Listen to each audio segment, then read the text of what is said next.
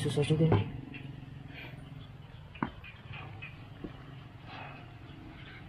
Bisa buka aja teman-teman. Ini agak ragu juga sini gue bukanya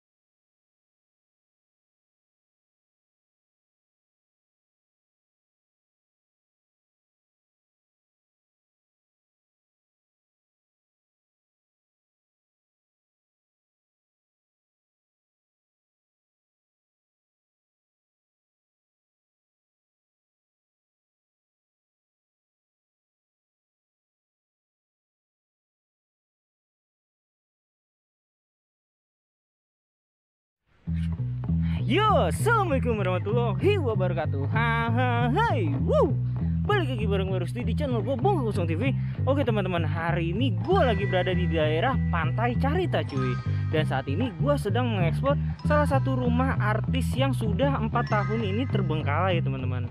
Dan gue bakal jelasin nanti rumah siapa ini dan memang kondisinya saat ini sudah seperti ini teman-teman karena memang empat tahun ini terbengkalai begini saja dan kita bakal lanjut explore aja di rumah artis di Pantai Cerita ini. Oke teman-teman di depan gue ini adalah rumah yang berusia 4 tahun cuy dan rumah ini yang punya adalah seorang artis bernama Lydia Kandau cuy. Wow ini keren kan di Pantai Cerita ini gue menemukan salah satu lokasi yang menurut gue ini cukup epic karena lokasi ini yang punya adalah seorang artis bernama Lydia Kandau. Kalian bisa lihat kan kondisinya saat ini seperti ini dan memang depan ini adalah halamannya men. Dan lokasi ini terbengkalai sudah hampir 4 tahun pas zaman zamannya tragedi bencana alam tsunami. Dan juga info yang gue dapetin kalau rumah ini katanya cukup seram bagi warga setempat gue nggak tahu udah seram dari segi apa mungkin seram dari segi bangunan ini terbengkalai begini saja. Dan cuma satu orang saja yang berani memasuki bangunan ini teman-teman yaitu penjaganya sendiri. Dan yang lainnya itu nggak berani masuk ke dalam rumah Lydia Kandau ini. Gue nggak tahu kenapa mungkin para masyarakat yang di sini masih kental banget dengan yang namanya mistis-mistis jadi agak maklumin aja kalau mereka masih menganggap bangunan ini seram dan sebagainya. Dan di depan gue ini sudah ada pintu masuk menuju ke dalam rumah Lydia Kandaunya dan di sebelah sini itu ada bangku bahkan ada meja untuk bersantai-santai memandangi persawahan. Kalian bisa lihat kan di situ ada sawah dan memang di sininya ada halaman-halaman yang membuat rumah ini menjadi indah cuy. Dan memang 4 tahun terbengkalai semenjak kejadian bencana alam tersebut lokasi ini menjadi sepi dan si Lydia Kandaunya juga nggak mampir ke sini. Takutnya juga terjadi hal-hal yang tidak diinginkan seperti kejadian tahun 2018 bisa jadi ya teman-teman. Dan di sebelah sini itu bagian dari samping rumahnya. Dan memang di sebelah situ persawahan. Di sini juga ada tempat sampah itu teman-teman. Dan ini gua nggak tahu ini bagian apa. Mungkin juga ini bagian dari sumurnya atau kamar mandi kali ya. Tuh dan ini adalah bak mandinya nih yang terbuat dari batu bata. Dan kita bakal ke sini aja. Dan ini nggak bisa dibuka ya teman-teman. Nggak bisa dibuka. Dan kayak kita bakal masuk aja lewat pintu depan dari rumah ini teman-teman. Eh. kalian bisa lihat kan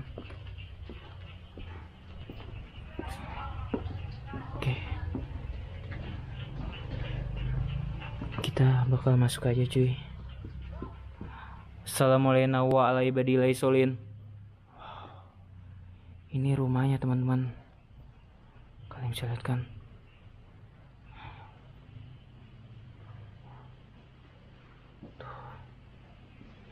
Dan ini adalah sofa-sofanya men tuh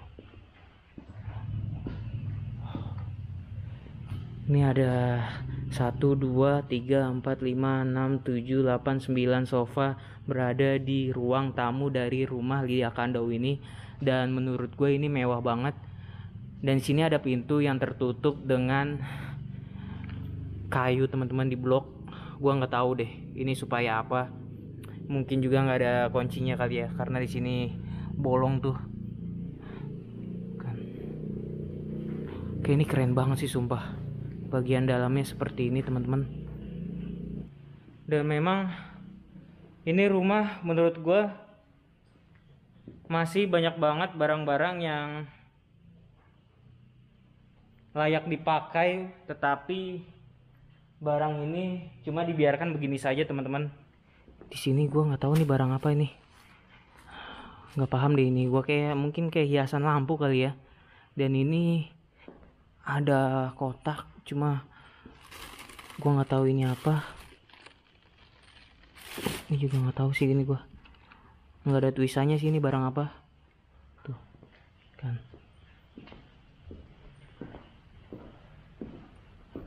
Dan di sebelah sini bagian dapurnya men. Tuh. Dan di sini gue nggak paham deh ini bagian apa. Mungkin ini bagian seperti aula gitu loh. Atau tempat untuk santai-santai dan di situ ada tempat ngecas kan teman-teman dua tiga dan di sebelah sini juga oh nggak ada berarti cuma ada tempat ngecas satu dua tiga Oke, stop kontaknya cuma ada tiga di bagian tengah ini. Dan di sini adalah bagian dapurnya cuy. Kan. Ini adalah bagian dapurnya seperti ini. Ini wastafel wastafelnya. Dan di atas ini gue nggak tahu ini barang-barang apa aja. Dan untuk kondisi airnya gue nggak tahu masih bisa nyala apa enggak oh nggak bisa teman-teman. Nggak bisa nyala. Oke. Kita bakal naik aja ke bagian sini. Assalamualaikum di sini gue harus pakai senter ya karena gelap teman-teman Astagfirullahaladzim itu suara apa itu barusan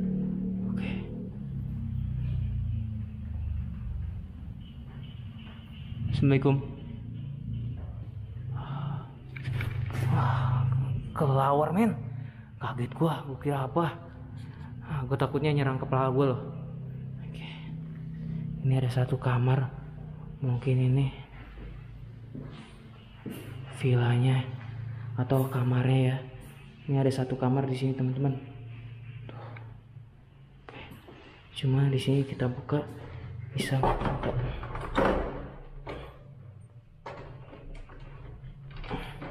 ini kuncinya juga nggak mau temen keras kuncinya juga udah nggak bisa dibuka lagi nih. Kayak skat gitu. Tuh. Oke lah gue bakal lanjut. Keluar aja deh. Dan ini mungkin salah satu kamarnya di sini teman-teman. Oke. Dan ini juga ada kamar. Cuma seperti ini aja ya tuh. Kan misalkan ini ngeplong sih kamarnya. Nah, ini juga nggak bisa dibuka. Keras tuh teman-teman. Oke. Bakal lanjut keluar. Karena memang lokasinya ini tepatnya di perkampungan jadi agak berisik juga sih. Ada kendaraan yang lewat-lewatan. Dan di sini ada guci besar juga nih gucinya ya. Ini mewah sih ini ini juga ada kamar di sini. Dan ini juga ada kamar. Nah oh ini nggak bisa dibuka teman-teman. Yang ini nggak bisa dibuka ya. Tuh keras yang ini bisa dibuka sih. Oh bisa cuy. Assalamualaikum warahmatullahi wabarakatuh. ini begini aja sih tuh. Dan memang di bagian atas itu atap-atapnya udah agak hancur. Oke. Berarti di atas itu ada lantai dua dong? Oke kita bakal cari aja akses menuju ke lantai duanya ya. Ini kita tutup aja teman-teman.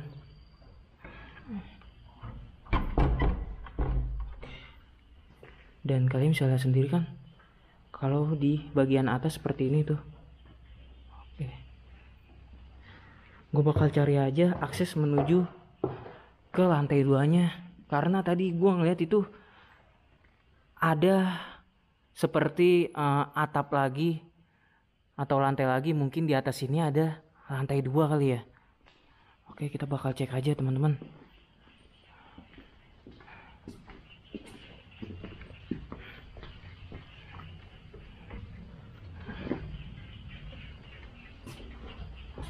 Penasaran juga sih gue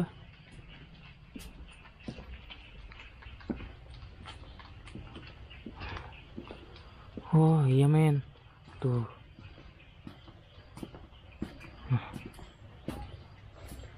cuma sebelum ke lantai dua mungkin kita ke sini dulu kali ya.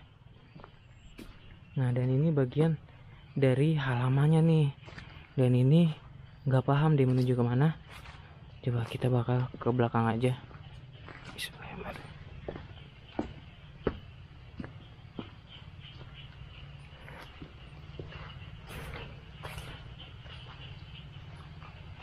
Oh ini bagian belakangnya seperti itu teman-teman Tuh Kan. Itu bagiannya seperti itu belakangnya Seperti ini. Dan ini adalah bagian dari saluran air ya. Nah di atas juga ada tabung air. Dan di bagian sini adalah bagian dari gua nggak paham deh. Ini kayak dapur sih bentuknya. Ini bentuknya kayak dapur sih ini cuy. Bagian sini tuh kan? Ke bagian kamar mandi ini bagian dapur nih sini juga ada wastafel dan kalian bisa lihat kan pemandangannya wow ini keren banget sih sumpah.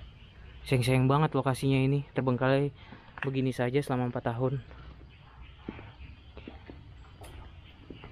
Dan kita bakal ke atas ya kira-kira bisa nggak ya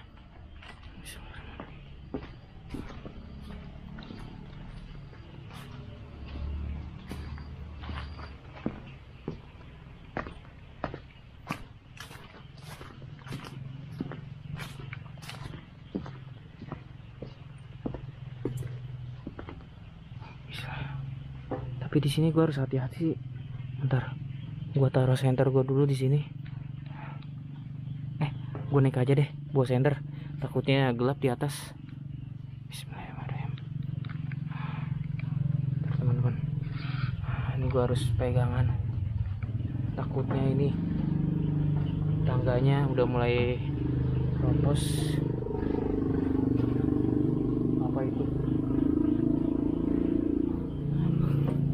apa itu? Apaan gua. Apaan? Mungkin keluar kali ya terbang.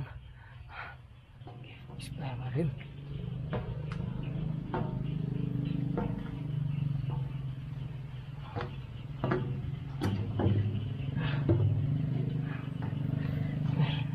Agak susah juga nih.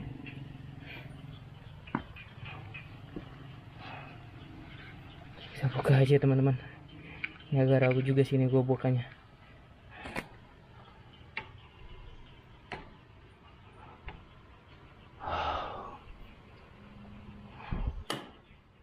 Assalamualaikum.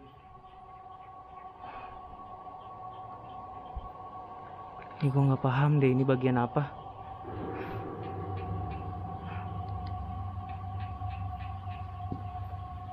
Banyak banget kelawar sih sumpah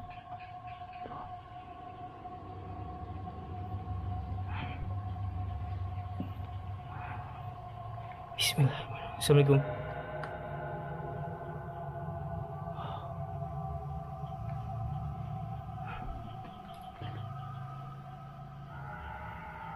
Ini gue nggak paham deh. Ini bagian apa ya? Sumpah ini agak serem juga sih. asli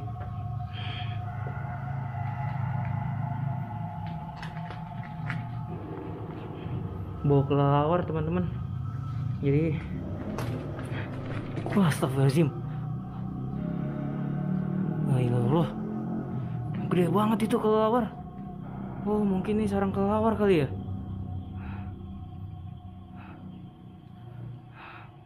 Nah begini doang sih bentuknya.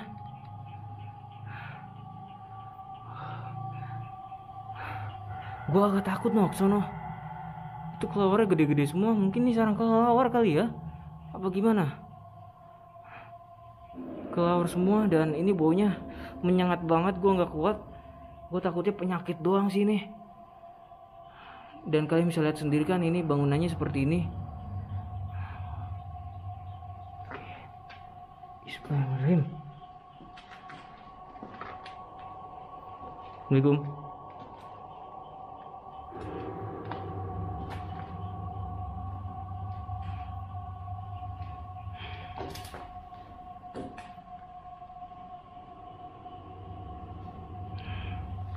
keluarnya gede-gede banget ya Allah. Baru kali ini gue explore ketemu kelawar segede ini. Ini banyak banget loh kelawarnya astagfirullahaladzim. Kayak begini doang ya teman-teman tuh. Kalian bisa lihat kan? Dan memang bawahnya ini begini doang nih. Gue nggak paham ini bagian apa. Mungkin bagian dari saluran air kali ya.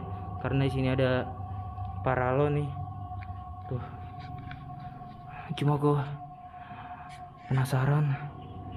Sumpah ini keluarnya gede-gede banget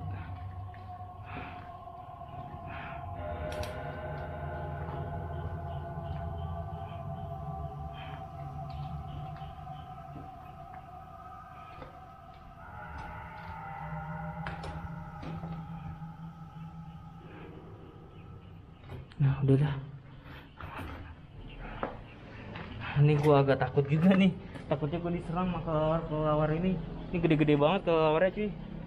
So, gua bakal tutup aja nih. Dan memang gua takutnya penyakit juga sih karena tercium banget aroma nggak sedap di dalam situ. Sumpah. Dan gue bakal turun aja nih teman-teman. Dan mungkin bagian yang tadi pojok itu adalah bagian kamar mandi cuy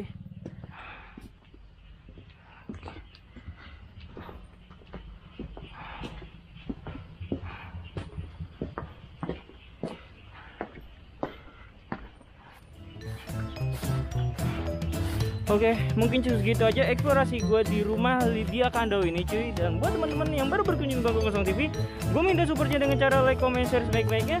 Jangan lupa subscribe channel gue ini. Semoga channel gue ini nama makin maju Dan terus menghibur kalian semua. So, akhir kata nama gue Rizky Ramadan. Selaku pengguna Kosong TV mengucapkan terima kasih. Wassalamualaikum warahmatullahi wabarakatuh. Thanks buat yang udah nonton video gue dari awal sampai akhir. Selamat menunaikan ibadah puasa